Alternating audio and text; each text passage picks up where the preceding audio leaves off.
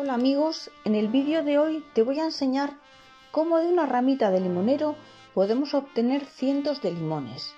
O si preferís, también podéis utilizar este sistema para conseguir naranjos, mandarinos y cualquier tipo de cítricos.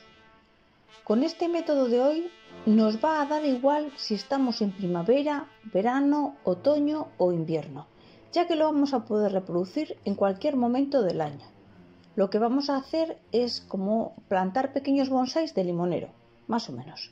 Bueno, antes de proseguir, quiero recordarte que estás en el canal de Flores y Mariposas y que si todavía no te has suscrito, lo hagas ahora mismo para no perderte futuros vídeos muy interesantes que sacaremos en este canal. Asimismo, quiero pedirte que me dejes un me gusta a este vídeo. Para ti es totalmente gratis y nos ayuda mucho al canal. Muchas gracias. Algunos de los elementos que vamos a necesitar hoy los vas a tener por casa, porque vamos a necesitar una botella de agua, eh, un cúter, la botella de agua que sea de litro y medio, de estas de plástico que tiramos a la basura. Un cúter y luego vamos a necesitar una planta que estoy segura que también la vas a tener en casa. Mm, sí, sí, estoy segura al 100%. O si no tienes en casa, la tienes en el jardín, ¿vale? Bueno, mm, eso, las botellas de agua. Bueno, pues para comenzar vamos a necesitar una botella de plástico de litro y medio, de estas que siempre terminan el cubo de la basura, ya veis. Y con la ayuda de un cúter, pues la vamos a cortar pues más o menos por la mitad. También vamos a necesitar esquejes de limonero. Claro, eso bueno, de lo que tú tengas en casa, claro, si tú tienes, eh, yo supongo que ya tienes algún árbol de cítrico para, para hacer los quejes, porque si no, pues... Y también vamos a necesitar para enraizar, pues aloe vera. Entonces, bueno, yo tengo limonero, entonces voy a hacer los esquejes de hoy de, limonero. Y tengo también aloe vera, tengo en tamaño grande, así que le voy a coger una hoja y no, no hace falta mucho más. Vale, entonces como os he comentado, bueno, vamos a, con la ayuda de un cúter, vamos a cortar una botella de plástico por la mitad. Y lo que queremos, eh, una vez de haberla cortado por la mitad, es que encaje un lado con el otro lado. Si no te ha quedado muy bien, pues lo que puedes hacer es cortar un poquito más de uno de los dos lados, del que pues te ha quedado un poquito peor, para que cortarlo más bonito para que encaje. Y no tires el, tapón que también nos va a servir ¿eh? nos va a servir tanto la parte de abajo como la de arriba. Ahí en la base vamos a hacer un agujero de, drenaje. Ahí con el cúter cortamos un cacho que es para el drenaje. Ahí lo veis ¿no? el agujero. Y eso si la botella no te encaja por las dos partes pues cortas un poquito más y le haces encajar hasta que quede pues perfecto. Mirad, ahí está perfecto. Ya tenemos las dos mitades. Bueno, el siguiente paso pues va a consistir en echar tierra a la parte de abajo de la botella de, de plástico. Esta tierra estará previamente humedecida. Recomendable que pongáis una tierra de calidad. Como suelo decir yo, utilizo el sustrato universal y a mí me va bien. Bueno, la idea es poner una tierra pues como esta, que es una tierra con varios sustratos, que tiene turba, tiene un poquito de compost, tiene también un poquito de corteza de pino. Bueno, y ahora vamos a por los esquejes de limonero. Tenemos unas ramitas jóvenes de las que vamos a cortar pues tres o cuatro. Estas ramas eh, se llaman, estas jóvenes se llaman herbáceas. Y luego esta que es un poquito más gorda que veis en las imágenes, que es un poquito mayor, más vieja, eh, bueno, es decir, del centro limonero, esta rama se llama una rama leñosa. De esta manera vamos a hacer una prueba para ver cuál de, los dos esquejes nos funciona, nos funciona mejor. Si son iguales o si nos funciona uno mejor que el otro. Bueno, cortaremos aproximadamente un palmo de cada una de las herbáceas y lo mismo con la rama leñosa. Mientras que la rama leñosa le quitamos todas las hojas, a las herbáceas le vamos a dejar las dos hojas de arriba y las cortamos por la mitad. Así, de esta forma va a seguir recibiendo luz indirecta del sol porque estas pequeñas hojitas, o sea, por las pequeñas hojitas lo que hace es, a ver, el tallo es muy fino, entonces necesita dejarle unas cuantas hojitas para que le dé un poquito de sombra y sol ¿eh? y no se queme. Vale. Lo que vamos a necesitar ahora es una hoja de aloe vera. ¿eh? Este es el único enraizante natural que vamos a estar utilizando.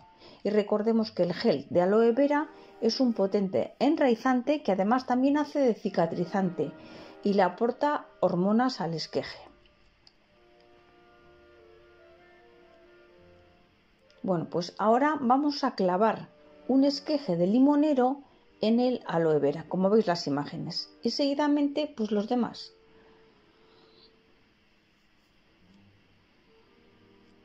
Ahí va otro.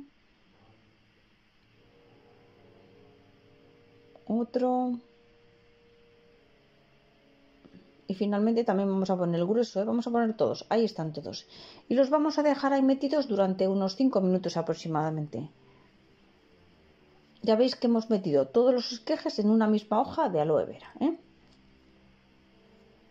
¿Notáis que sale un poquito de gel? Bueno, mientras eh, esperamos podríamos ir colocando otra botella de plástico con la idea de colocar los esquejes de hojas en una botella y el de la rama en otra para poder ver la diferencia. ¿eh?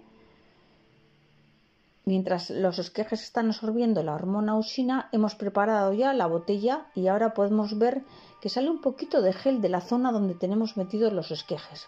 Bueno, ahora vamos a hacer con la mano un agujerito en la tierra de la botella de plástico para meter el primer esqueje. Dejaremos que se caiga todo el gel que, de aloe vera que caiga, que es fenomenal. Y luego introduciremos el resto de los esquejes poquito a poco, ¿eh? haciendo también agujeritos así con el dedo. El esqueje de rama, como os he comentado antes, lo colocaremos en otra botella. Y lo haremos de la misma manera, o sea, con la mano hacemos un agujerito en la tierra y luego metemos el esqueje. Luego tapamos con un poquito de tierra, bien, bien, para que se queden ajustadas y finalmente vamos a regar. ¿eh? Lo mismo una que la otra. Este agua que te voy a poner hoy es agua de lluvia, ¿eh? que tiene que ser o filtrada o de botella. No le pongas directamente agua del grifo. ¿eh? Cuando el agua comienza a salir por debajo, la tierra está bien humedecida.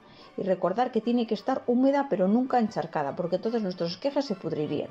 Ahora vamos a colocar sobre nuestros esquejes la parte de arriba de la botella, como veis en las imágenes, y lo que vamos a hacer, como encaja perfectamente, ahora es con, adhesivo, con papel adhesivo, vamos a juntar, con cinta adhesiva, vamos a juntar las dos partes de las dos botellas, ¿eh?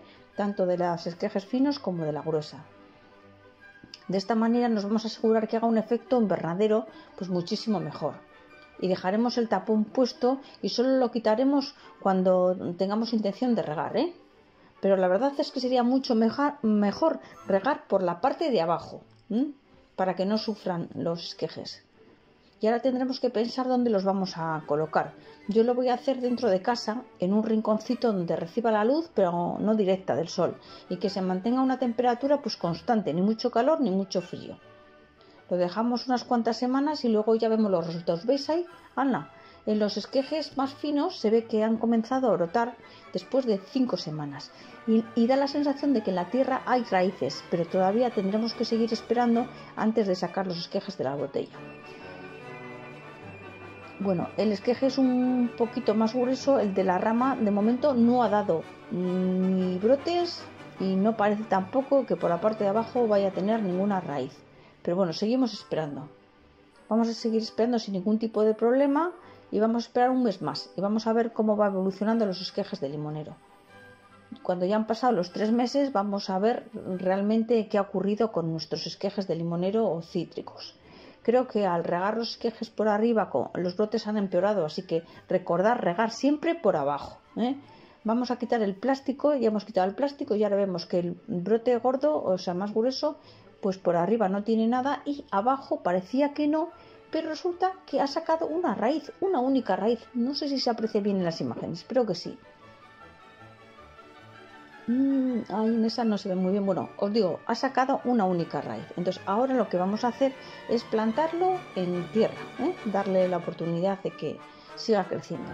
Y vamos a ver los esquejes más finos, eh, a ver qué ha pasado. Resulta que, bueno, quitamos también la cinta adhesiva, quitamos la capucha y han brotado. Y si nos fijamos en la parte de abajo, parece que tienen raíces. Entonces, mm, para que no sufra, con la ayuda de un tenedor procederemos a, soltar la, tierra para no romper las posibles raíces. Nos sacaremos con muchísimo cuidado y así vamos a ver qué es lo que ha pasado. Con mucho cuidadito para que no se rompa nada. Sacamos.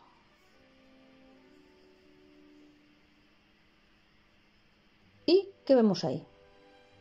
Pues que tiene un montón de raíces, ¿no? Entonces lo que vamos a hacer es replantar en la tierra las ramitas que, pues eso, que tienen un montón de raíces y brotes y donde van a salir nuestros futuros limoneros. Acordaros de ponerle agua. ¿eh?